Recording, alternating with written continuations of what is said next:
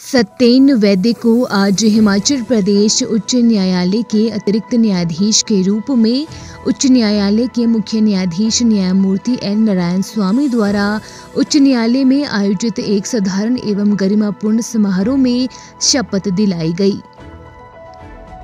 शपथ समारोह के दौरान हिमाचल प्रदेश उच्च न्यायालय के अतिरिक्त न्यायाधीश के रूप में सत्येन वैद्य को भारत के राष्ट्रपति द्वारा जारी नियुक्ति पत्र को उच्च न्यायालय के रजिस्ट्रार जनरल वीरेंद्र सिंह ने पढ़कर सुनाया।